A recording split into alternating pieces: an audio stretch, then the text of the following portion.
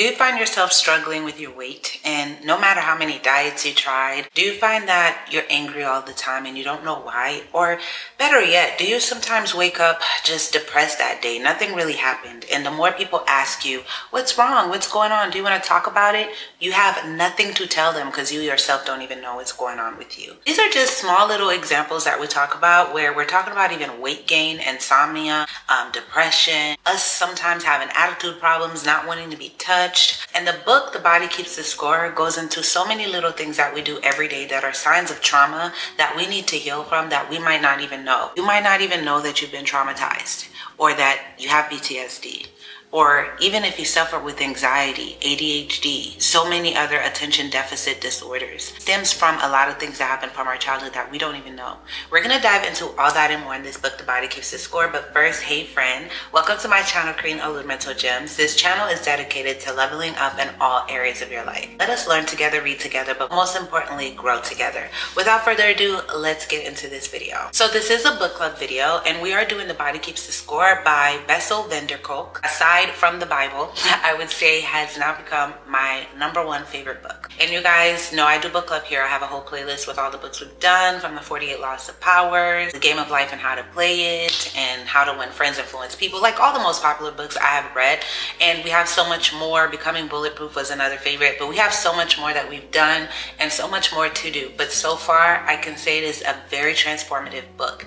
If there's any book that's going to transform your life, it's this one. I cannot stress that enough And it is a book. It took me so long to do a book club um, for this channel because this book, it's not that it took me so long to read, but I found myself going back to chapters. I know it's just transformative. You will cry. I was crying like a baby, kept going back. And I do say, aside from the Bible, I really, really, really do love this book a lot. It has about nine takeaways, but I'm going to focus only on the ones, a couple to kind of get you interested to get the book because I really don't want to like give you everything. He definitely knows what he's talking about. He's very passionate with the work of psychiatry and um, psychology and helping people and helping pe- um, children. It all starts as children. It all starts with us being children, right? Let's jump right in with the first takeaway, okay? Intro of the book is talking about PTSD. He breaks down what PTSD is, who has it, different things that give you PTSD or trauma, and it's not always being physically touched. A lot of people attribute trauma and, you know, like PTSD or being like of being victimized, like you were either touched, and there's just so many other things that traumatize us daily from being in a car accident. He uses a lot of different examples, or even just having a bad parent. They might not have like physically touched you, but you didn't feel love. Like when your parents looked at you when you were a child, you never recall anyone um, looking at you excited to see you or happy to see you in the home. Or even if you came from a home where your parents weren't lovey dovey with each other, it was kind of like even if they didn't put hands on each other, but they you know, there was no love there. There was no holding hands. There was no kisses. It was just a dry, cold environment. Being in a coma, being on certain medications. There's just so many forms of trauma. But people typically talk about the most, which is being touched without your consent, having violence, being bullied, and, you know, substance use, being around certain things. But even growing up in poverty is a form of trauma. And all of these things can give you PTSD what is triggering within the first chapter, because the very first chapter can be triggering, is when he gives all of the examples and when he talks about the people that found out about things that happened to him. Like you could be 30, you could be 40 or 50. That's when memories come to you. For whatever reason, your brain disassociated that when you were a child and you just don't remember and you just get older and these memories start coming to you like, am I tripping? Did this this didn't happen like you think you're tripping and he gives an, an, example of a young man who was touched by a priest and he didn't remember his own encounter with that same priest touching him without his consent when he was a little kid until somebody else was telling their story and he starts to vividly remember everything the same person is saying that same room the touching him the same way etc that he just loses it and starts to have a panic attack right then and there. And he just all his life always remembered that priest in a positive light. And this is why they say sometimes victims talk years later and people be like why you waited so long girl da da da da or boy da da da it's just crazy and he talks about also when this happens to men the masculine men a lot of them go to the gym um, to get fit, buff, you know, especially if you witness your mom get attacked or brutalized, or if it happened to you, you feel like getting bigger is a way and a way to protect yourself, you know? Even a lot of women where they have out of control eating, obesity, and stuff like that comes from a lot of these things. And it's just like once you know, and then there's practical ways to start helping. Because I, what I love about this book, it's not just telling you or describing to you what the phenomenons are or just the words and stuff like that and giving examples but he also tells you the specific type of therapy you need to do for this specific type of trauma or issue and even practical ways that you can overcome even talking the number one thing that I found really important message that he gave was to speak, to never hold a secret for anybody. Holding a secret for anyone will be what stops your healing, your journey you got to think if someone victimized you, they didn't care about your feelings, okay? A lot of people pleasers are people pleasers because they were touched, you know? And they feel like there's something I could have done to not be touched or to not go through this. Or maybe my parents could have loved me more. They would have stayed together and not be divorced and this and that.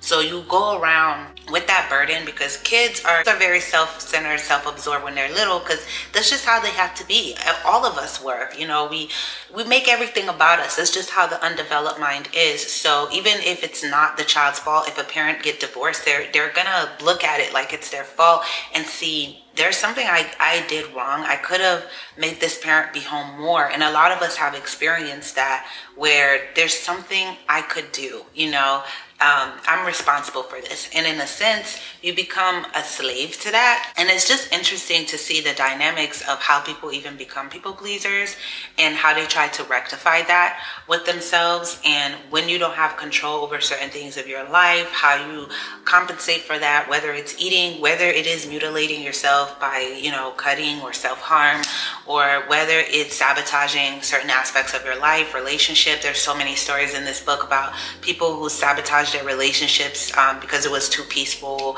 and they just wanted that trauma, like what they're familiar with. I don't know. It was just a phenomenal book. So the PTSD part was the first takeaway, which he gets into a better knowledge and understanding of PTSD, and he talks about resources for veterans, etc. Just really great, right? The second takeaway is trauma creates a different kind of memory than ordinary events. Unlike remembering an ordinary event, when someone experiences the memory of a traumatic event, they are virtually reliving the experience. And his analysis on this, and I'm using InstaRead for that, I suggest you guys get membership and use them. It's really good. Um, it says that ordinary memories have beginnings, middles, and ends. They are seamlessly integrated into a person's story of their life, and the person usually moves on. A traumatic memory is a sensory and visual experience. It fires up the visual cortex of the brain and creates physiological changes. The traumatized person experiences the memory as if the trauma is happening at the current moment. It is not integrated, and the person does not move on. Although there are different theories that explain the relationship with memory and trauma, a lot of research has shown that traumatic memories are processed and remembered in a fundamentally different way from other memories. Traumatic memories differed from memories of other important life events, both in vantage point and the number of details. It is this extremely detailed, almost cinematic memory that occurs from a trauma that makes it hard to forget. After a trigger, the person is pushed back into the trauma, experiencing the memory again as if they are seeing it in the present. The vividness of the traumatic memories hijacks the brain and prevents the person from living in the present, making them numb and disassociated from normal life. This takeaway helped me to really understand what someone is seeing when they're having a panic attack or PTSD, how they're struggling with it. And even if you've had anxiety attacks before or panic attacks. So what it happens with PTSD is when they get triggered, it's as if they're in the moment, like it's happening right then and there, right?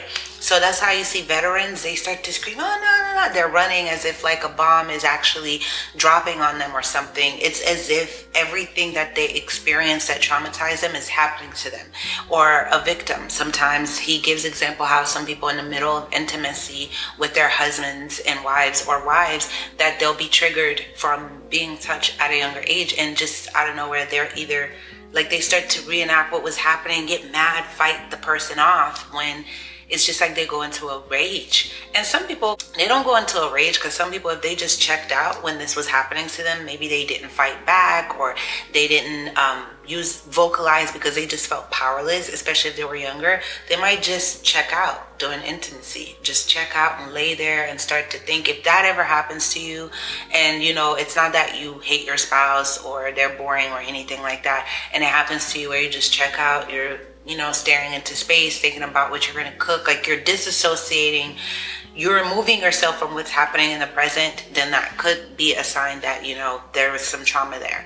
And a lot of times when that happened, you might misread that if you are like it's a suppressed memory or something, you might misread that as you're just bored with your partner and you need to go try out somebody new and they just can't, you know, and then now you're looking for more and more people. This is why a lot of traumatized and victimized people are the people that always usually feel like they need to try out multiple people to be intimate with, which in turn creates more trauma and you're never really healing. So when someone say you're literally sick, so you're literally just trying to um, find this connection when sometimes you heal. Of course, it's not the case for, for every situation, but it is something to consider.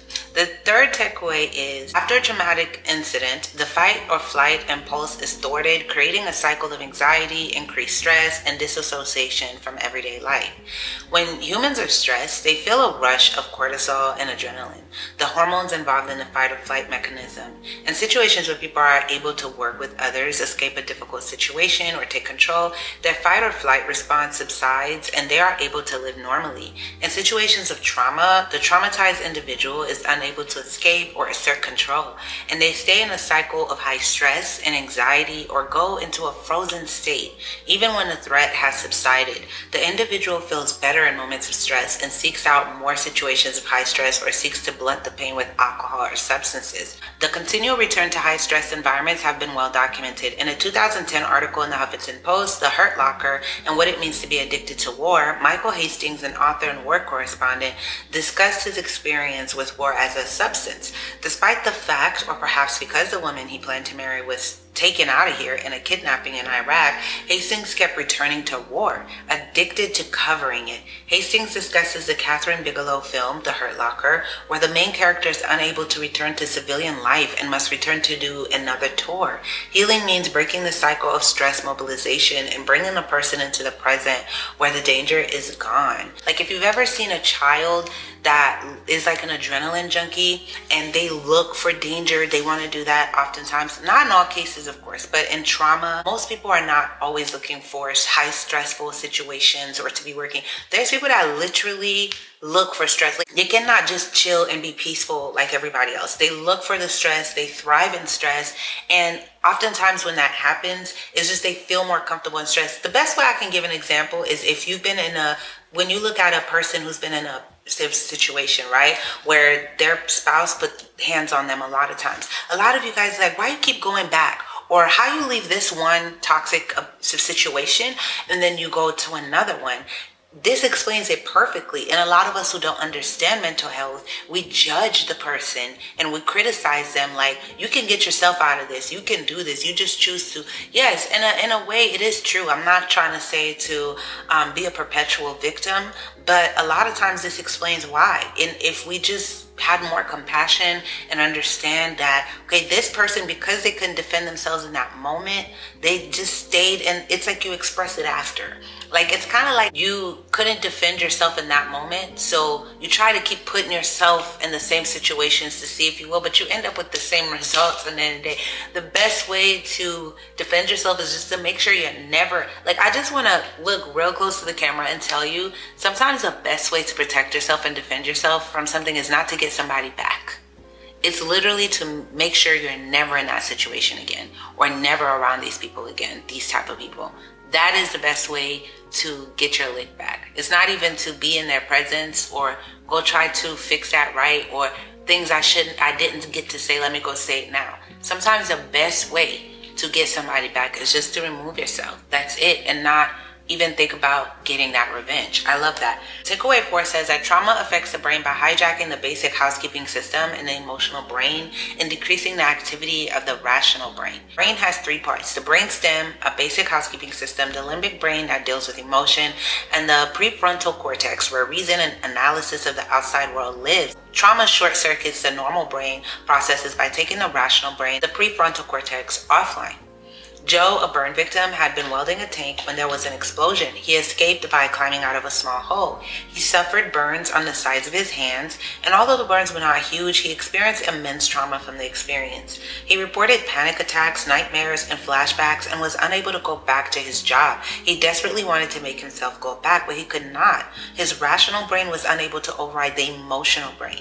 Joe said, My boss wants me to go back into the tank to weld, but I'm still trying to get out. So sometimes someone who's been been traumatized does not think rationally like someone else. So someone else may sit there and just be like, it's common sense to XYZ. Well, common sense doesn't work. He even went deeper into the book, which I really want you guys to focus on now in the childhood part, where he talks about how children who are victimized really early or suffered through trauma really early, and trauma for children could even be being in a NICU, having several operations. The body keeps the score of that, like the memory of that too. You grow up, it keeps the memory memory of that. Or children who even wasn't wanted by their parents, but you still gave birth to them. When you're giving someone, a victim or someone who has PTSD, advice, you just come off really harsh when you're like beating it down to them. Someone with mental health issues and stuff like that, you're beating it down like this should be common sense. This should be da da da. Well, common sense is not so common to victims because their brain is not even wired the same anymore, just based off of the trauma that they endured. Takeaway number five is that trauma has extreme physiological effects on the body also. It's not just mental, but it's physical. Trauma activates the vagus nerve, a huge nerve that relays sensory information about the body's organs to the central nervous system. The activation of the vagus nerve causes the physical manifestation of trauma, the feeling of being punched in the gut or having a broken heart. Trauma victims have trouble with sensory perception, and other physical conditions such as autoimmune disease. Cumulative childhood stress can affect autoimmune diseases in adults. A 2009 study tracked people in San Diego who had stressful experiences in childhood, including physical and mental, you know, domestic violence and substance, you know. The study found that childhood traumatic stress increased the likelihood of hospitalization with an autoimmune disease as an adult. Studies like this open a wide field of research in the physical manifestations of trauma. From migraine headaches to seized muscles, stress, stress is present in the body. It is even passed down from mother to child. Mothers who have stress or physical discomfort during pregnancy can pass it on to their child. Trauma does not just affect the brain, but the body as well. This is why I said this has been scientifically proven. So if you know anyone pregnant, share this video with them and tell them the importance of resting and relaxing and not being in traumatic situations because you're passing that on to your little child, right? All the division that there's in the world, like with the manosphere and feminine feminism and stuff when you look at the bigger picture i feel like once you're educated because a lot of people truly aren't educated on the physiology and the psychology of just human nature is that once you're educated you understand that it is better for men and women to just stick together because if you women are so fragile they should be protected right? You can't put all the pressure on a mom alone to make these human beings. Like you watching you came from a woman right? Any man manosphere they all came from women right? So in a sense if you have those same men that think they have no responsibility in this but if you're traumatizing the very woman that is about to give birth to the future men of the manosphere. You can't just blame the woman. A lot of people blame single mothers for a lot of things, but you say, where's the father that traumatized these women, that abandoned them in their worst times? Now that instilled that same fear that she felt during pregnancy unto that child. You know, that same fear, that same like, what am I to do? And then now she's on her feet. She's working hard. She's crying every night. You traumatized her. And so you play a major role in that same quote unquote bad child that grows up, oh, I blame the mothers, I blame the parents not raising them right, where we all play a role. Ever seen a mom who's just hangry or un- hungry or just tired or sleep deprived or whatever, and they kind of take that energy onto the children. And he even talks about the importance of children seeing their parents be excited to see them and the importance of children seeing their parents have love in their eyes to see them, you know, or even aunties and uncles. There's a lot of kids, the secret formula to it when you're really excited to see a kid and it's genuine and it's not fake because kids are so sensitive. They can feel when people are sensitive. It's just like pets and animals and all that stuff. They can feel it, you know. When a kid grows up without ever seeing anyone be excited to see them, every time the kid is talking, you're telling them, leave the room, this is adults talking. You prioritize your kids, you drop them off to grandma all the time. You make them feel like they're not wanted and you just go into the club with your friends, you're partying and you treat them as if they're second class citizens. I'm not saying parents should not, because he talks about, and many psychologists, experts talks about the importance of parents getting a break too, vacationing without your kids. You don't have to bring your kid along everywhere because it's not really a vacation, you know. There is an importance of that, but there's also a balance. Kids don't care about the money. They really don't. If you as an adult think about it, what was your most precious memories as a child?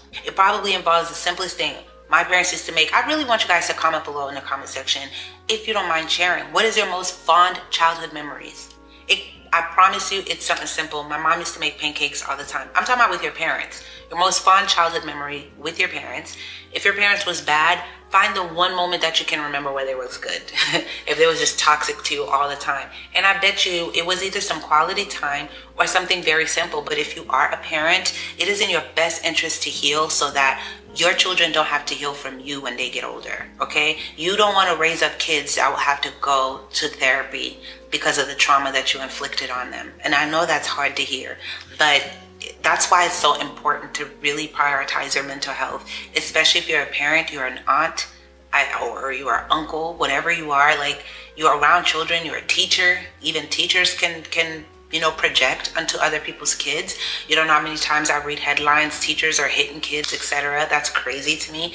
But yeah, Anyways, takeaway six, the attachment style child experience in early life can predict and create trauma, which is what we were just talking about. According to a presentation by Jody Todd, Manly PhD, clinical director of Mount Hope Family Center, University of Rochester, the relationship between a child and a primary caregiver is what allows a child to feel safe and supported. It ensures survival and provides a framework for the child to navigate the world on their own as they grow.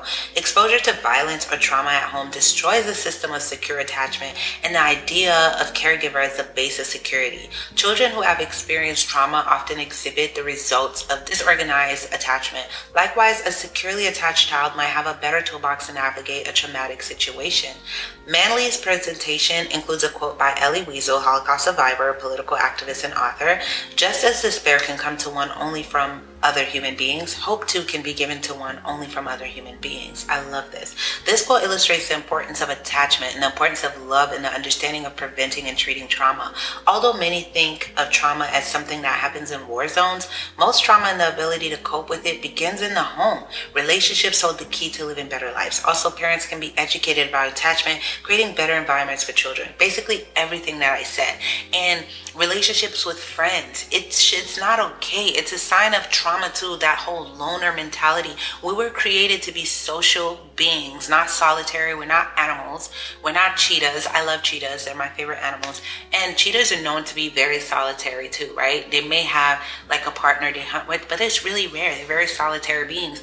But we're not animals, guys. We're people. We're meant to be around people. It, it's not, we can want our private time, but we should feel away if we don't have friends. We shouldn't tell ourselves, well, it's da, da, da, da, that is a problem. And those attachment issues is from our early child is what creates this disconnection where we feel like we can go on without people. I don't need to call people. I don't care. I'm not. Those type of relationships and having healthy attachments to people is what helps us to grow. So do not run from healthy attachments. It's okay to tell people you miss them. It's okay to tell people you love them. It's okay to express how much you care and that you value their time. You actually want to hang out with them. It's okay to have healthy attachment, but everybody wants to be detached, and that is a form of trauma. He speaks against medication a lot. And I love that with this book. It's very pro holistic figuring things out the best way, not taking like pharmaceutical substances because it can do more damage than not and make people more crazy. And talk therapy is very popular, but there are more. He talks about different forms of therapy too, like I said, where he gives you the tools. I will always, always, always, always say that God, this verse kept coming to me all the time, and I had to save it every time I log into Instagram. And Philippians 4, verse 6 to 7 says all the time, Don't worry about anything. Instead, pray about everything. Tell God what you need and thank Him for all He has done. Then you will experience God's peace, which exceeds anything we can understand. His peace will guard your hearts and minds as you live in Christ Jesus. This verse keeps coming back to me because I was an anxious person. And this is what I have on my lock screen. Pray before every decision, big or small. God is in all the details of your life. I had to put that as my lock screen as a reminder because in my testimony, I'll say this. I suffered with anxiety a lot to the point where I thought I was always having a heart attack or a stroke, a panic attack. And I've had a couple people in my family that suffer with that too or high blood pressure, very sensitive. I worried about everything to the point where sometimes I would not leave my house. I would not talk to certain people. I'm anxious to go to certain places. And I was on medication for it and also herbal.